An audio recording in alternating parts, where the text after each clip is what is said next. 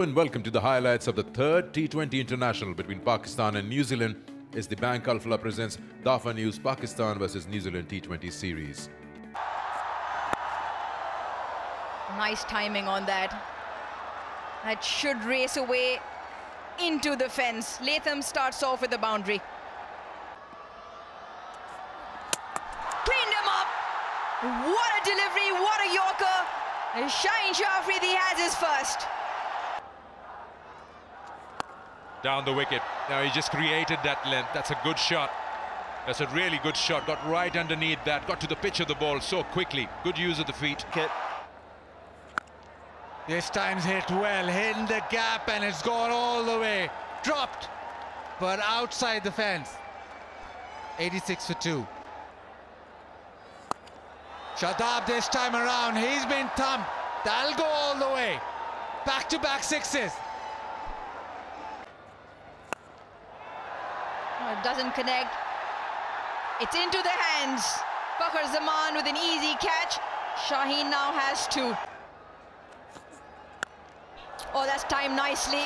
Does he get the distance? Yes, he does. Oh, Mark Chapman with his first six just over the head of Shadab Khan on the boundary.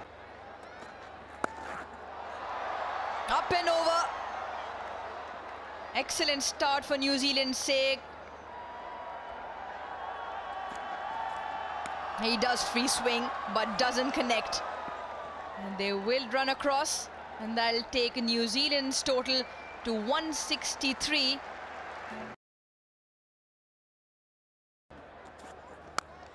Yeah, he's uh, gone with it. Has it carried? Has it carried?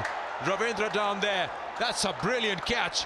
If that's clean, that is the catch of the series up till now for me. Down the wicket and smashes that one. And that's how you play a shot of authority to announce your arrival at the crease. There it is. There's always a chance. He came down the track, he missed it completely. It's a good stumping. Uh, he's got that one. He's been searching for that shot. The minute it hit the bat, you could just tell. Down the ground again.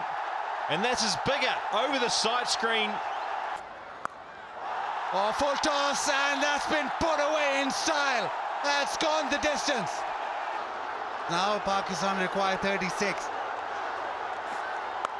Ball and smashed away, dismissed from his presence. Maximum of note.